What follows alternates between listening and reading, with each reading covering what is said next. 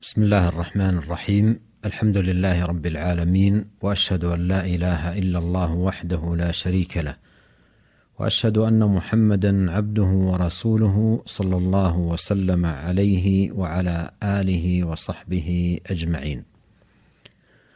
أما بعد فعن عبد الله بن مسعود رضي الله عنه قال قال رسول الله صلى الله عليه وسلم ما منكم من أحد إلا وقد وكل به قرينه من الجن وقرينه من الملائكة. قالوا وإياك يا رسول الله. قال وإياي إلا أن الله أعانني عليه فأسلم فلا يأمرني إلا بخير. رواه مسلم. وعن عائشة رضي الله عنها أن رسول الله صلى الله عليه وسلم خرج من عندها ليلا قالت فغرت عليه فجاء فراى ما أصنع. فقال ما لك يا عائشة أغرت؟ فقلت وما لي لا يغار مثلي على مثلك. فقال رسول الله صلى الله عليه وسلم أقد جاءك شيطانك؟ قالت يا رسول الله أو معي شيطان؟ قال نعم. قلت ومع كل إنسان؟ قال نعم. قلت ومعك يا رسول الله؟ قال نعم. ولكن ربي أعانني عليه حتى أسلم. رواه مسلم. وعن عبد الله بن مسعود رضي الله عنه قال قال رسول الله صلى الله عليه وسلم إن للشيطان لمة بابن آدم وللملك لمة. فأما لمة الشيطان فايعاد بالشر وتكذيب بالحق.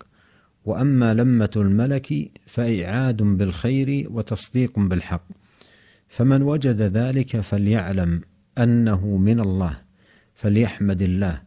ومن وجد الأخرى فليتعوذ بالله من الشيطان الرجيم. ثم قرأ الشيطان يعدكم الفقر ويأمركم بالفحشاء. الآية. رواه الترمذي والنسائي.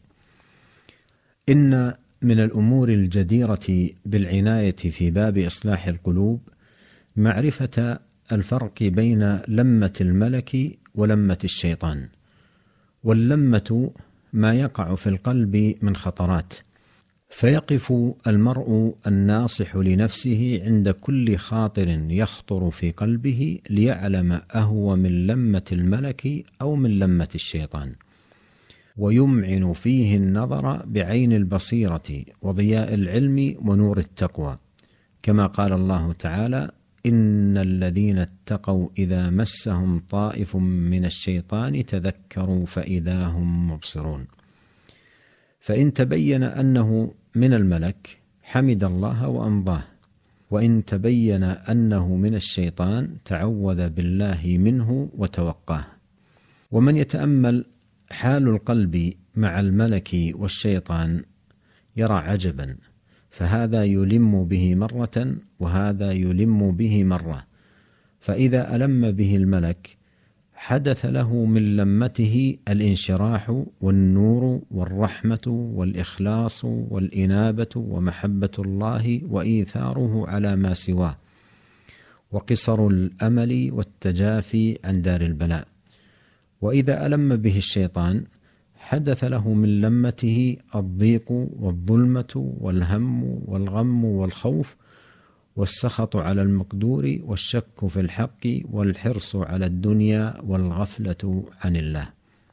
والناس في هذه المحنة مراتب لا يحصيها إلا الله.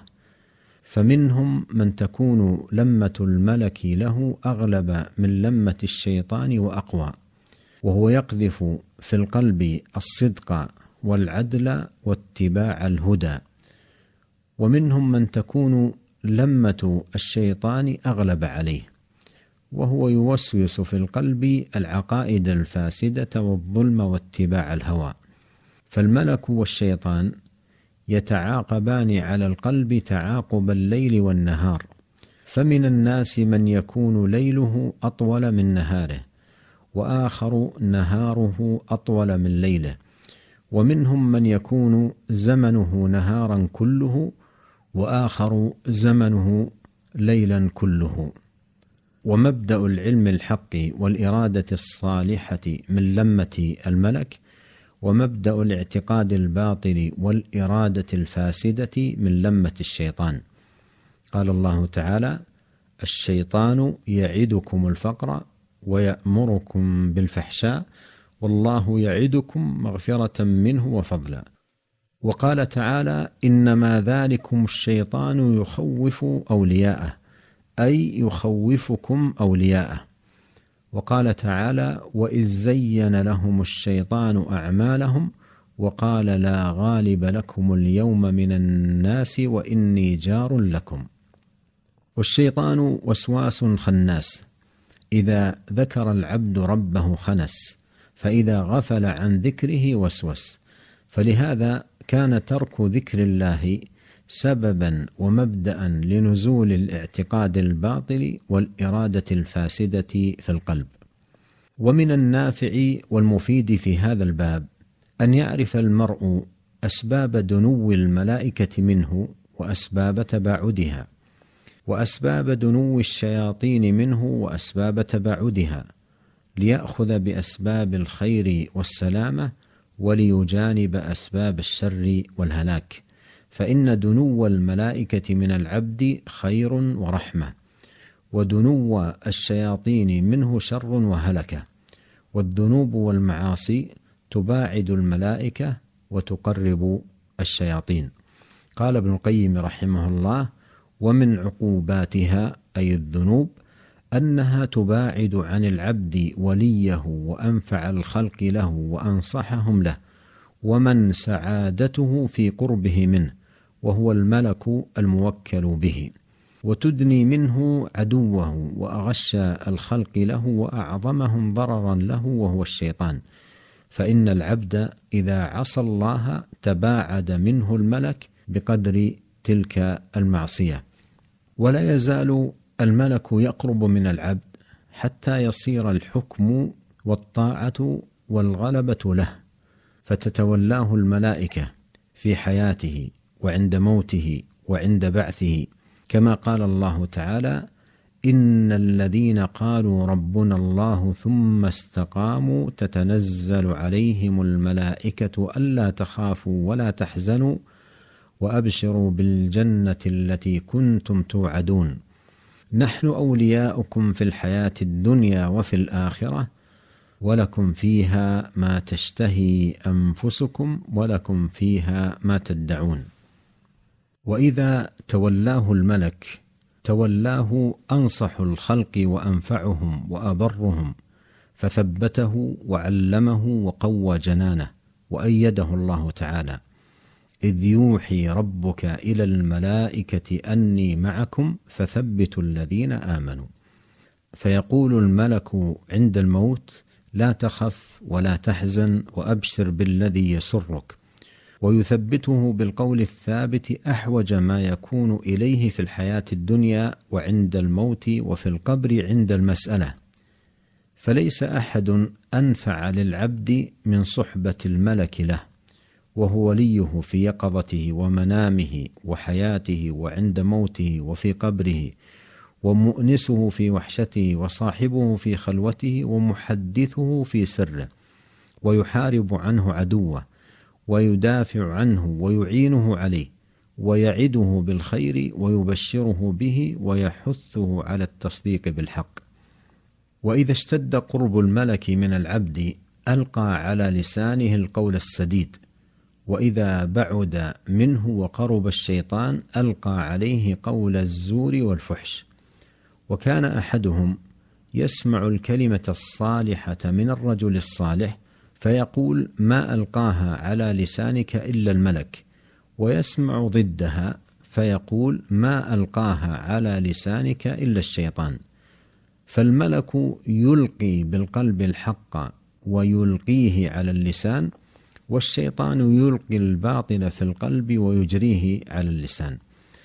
فمن عقوبة المعاصي أنها تبعد من العبد وليه الذي سعادته في قربه ومجاورته وموالاته وتدني منه عدوه الذي شقاؤه وهلاكه وفساده في قربه وموالاته. فملك المؤمن يرد عنه ويحارب ويدافع عنه ويعلمه ويثبته ويشجعه فلا يليق به أن يسيء جواره ويبالغ في أذاه وطرده عنه وإبعاده فإنه ضيفه وجاره.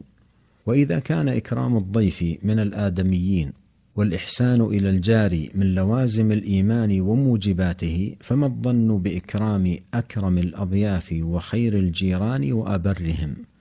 ولا ألأم ممن لا يستحي من الكريم العظيم القدر ولا يجله ولا يوقره.